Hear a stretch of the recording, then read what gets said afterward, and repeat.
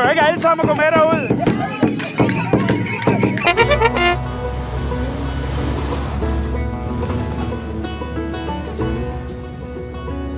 Jeg får at vide, at øh, herude i Masumi, midt i Tanzania, der har øh, Danita et skovbevaringsprojekt kørende.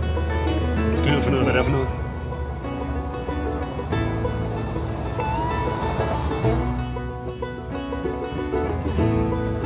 Sådan der. Jeg tror sgu, der er en modtagelseskomité til os. Hold da kæft. Hello. Hello, I'm Jan. I'm Jason. Hi, Jeswal. Yeah. Nice to meet you. Why is everybody? Uh, is that just because we come? Yeah, of course, because they have got the information that you are coming, so they have organized themselves. Oh, excellent. Hello, I'm Jan. Okay. Nice to meet you. Wow. Am I gonna say hello to everybody? Hello, I'm Jan. Hello, nice to meet you. I'm Jan. Hello, I'm Jan. Hello, I'm Jan.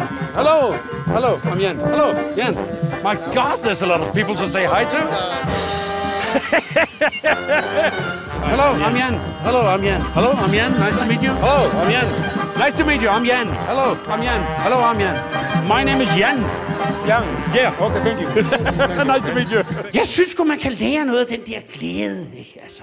Man kommer bare og kigger. For satan en fest, vi skal holde.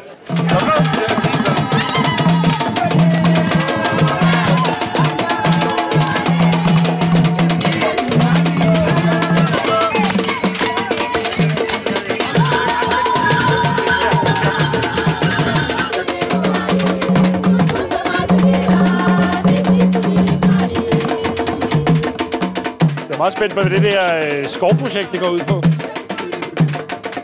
En umiddelbar glæde. Man kommer sgu ikke ud til mange juletræsproducenter på en tur, vel? Og så nu skal I høre her, vi skal have noget faglig snak om sæsonen. Men først skal vi have to ture til Vejle. La la la la la la la la la la la la la la la.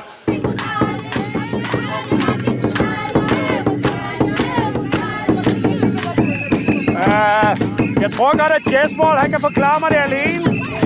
Ej, I, bør, I behøver ikke alle sammen gå med derud.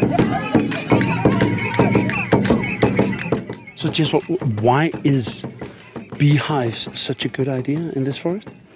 Yeah, first of all, this is an alternative source of income. Mhm. And also, people, if they harvest honey, they will sell honey, Huh? they'll get money to sustain their life. Instead of chopping down the woods. Yeah. Og jeg tænkte, hvad for noget? Støtter vi bier? Lige hvad Tanzania har brug for. Mere giftigt kryb, altså. Can we see them? Can we see the bee, the beekeepers do things with the bee? Yeah, you can, you, can see them. Hello. Have you heard of Chernobyl? Anauliza kwa, anasema kwamba mmependeza, mmejikinga vizuri na mavazi ya kujikinga na nyuki. They, they, they say thank you. Let's. What's your name? Are you a woman or man? Woman. Woman. With a very low voice. Yeah, yeah, because people here in our area uh, use, are, are used to, to start fire in the forest. Ui. Jeg som dansker, jeg er sgu glad for, at, at vi fortsætter med at, at give udviklingsbistand. Selvom der er krise i Nordeuropa, ikke? Åh oh, nej, ikke? Fordi tænk, ved, hvis det pludselig vender, ikke? Og afrikanerne skal til at hjælpe os. En eller anden lille afrikansk dreng sender 125 kroner om måneden til mig. Det er fandme svært at lave en tegning, ikke? Der viser et hus, der har brug for kloakering i Søborg, ikke? Altså, det bliver... Danita, tusind tak, fordi jeg måtte besøge jer. Tak skal I have. Tak.